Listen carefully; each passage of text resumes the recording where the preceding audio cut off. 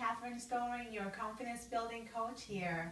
I am super excited to bring this video to you today because it was a lesson that I learned just today and I feel that it was uh, important enough that I'm gonna interrupt the, uh, the schedule that I have um, for my topics for every week and I just feel like, you know what, I have to share with it, uh, this with you today because it is that good.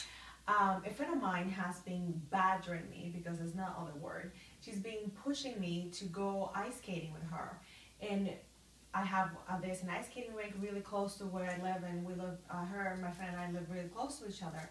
So for the whole year, she's been asking me, asking me, can we go, can we go?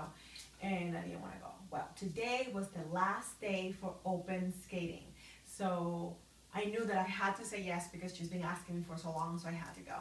Now, I have to tell you that I tried ice skating last year, and you know those people that when they go ice skating, they hold on to the wall and they just go around and giving those very careful little, you know, steps. That was me last year. I did not have a good time. I was freezing. It was just not good. I did not have a good time. I didn't think, I didn't get what the big deal was about it. So, never tried it again.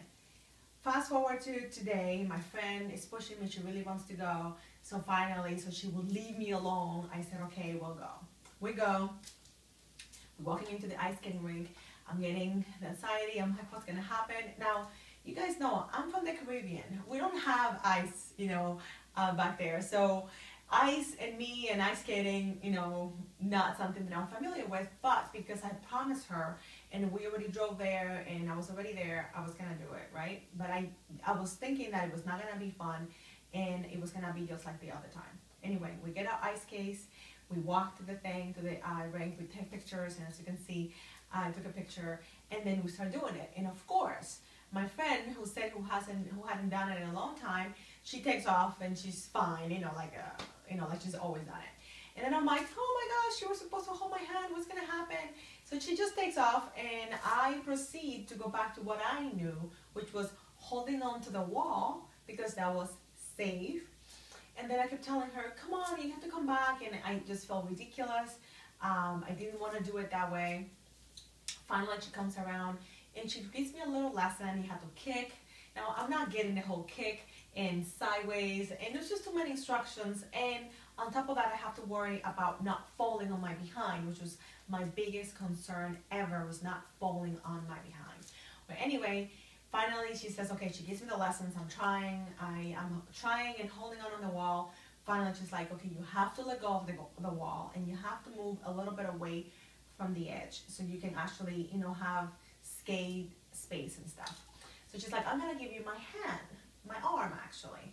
And so we try that and I'm still not getting it. I'm still holding on and finally little by little I get more confident and I can see that, wow, you know, I have let go of these safety net that was actually crippling me because it was keeping me so close to the to the wall and I trusted my friend that her arm was going to be there for me and we ice skated and I'm doing it with her arm of course holding on to her and I'm not saying that I was like a figure skater and it was beautiful to watch but I was doing it. And as I'm doing it I'm getting more confident I'm getting more cocky and guess what happened? I'm doing it and I fell down and it was not the worst thing in the world. I thought I was gonna be humiliated, I was gonna break something. Guess what? Nothing happened. I actually broke out laughing because I don't know why. I just thought it was hysterical. So there I was thinking that I needed to hold on to the wall, that if I fell, it was gonna be the worst thing ever. And all my fears turned out to be nothing. And I think that was such an amazing metaphor for life sometimes we walk around with so many fears and that's why I named the video the way I did because we have so many fears and we have to finally let go of whatever fear. You can have fear of, you know, blank, whatever it is, and sometimes it's fear of branching out, fear of failure, fear of trying something new, fear, I see all the time, fear of trying color, trying um, outfits and cuts that are gonna be more flattering to you and are gonna show off your body in a nice way. We all have fears of different things. And I just wanted to tell you today that sometimes your fear is worse than what you think is going to happen. Like in my mind, I built up the fear that if I fell, it was gonna feel really awful. It was people gonna laugh at me. I was gonna break my arm, and I didn't want any of that. So I built that up. When in reality, when it happened, it was not a big deal. I fell, I feel fine, I got up and I kept doing it and it was awesome. I cannot wait to do it again. I'm even looking at other ice skating rinks so I could do it because I realized that it can be fun, but I had to overcome my fear. And that doesn't mean that I did not feel fearful, I did, but I did it anyway. And that's what I wanted to share with you today. That two things, sometimes the fear or the outcome that you think of what's going to happen is bigger than the actual thing and two, that when you're afraid of something, you don't have to deny that you're afraid. You have, just have to acknowledge, yes, I am fearful, I'm worried this is going to happen. However, I am going to move forward anyway. And isn't that what life is all about? Feeling fear and moving forward anyway. It is a beautiful thing. I hope that you take um, my lesson and apply it to your own life because I am sure there is something going on in your life right now that you're afraid of. You're afraid of leaving an abusive relationship, leaving a job that is killing you little by little every day, or maybe fear of moving out on your own and, and getting your own place, or maybe starting that business that you know is gonna be so awesome and that people people's lives are going to change.